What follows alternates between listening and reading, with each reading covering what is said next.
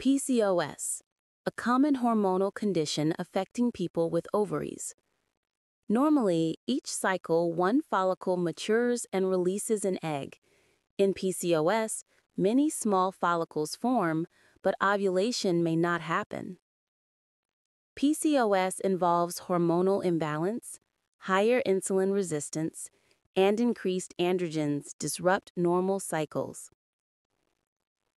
Symptoms can include irregular periods, acne, excess hair, weight gain, and fertility challenges. Doctors use symptoms, blood tests, and ultrasound to diagnose PCOS.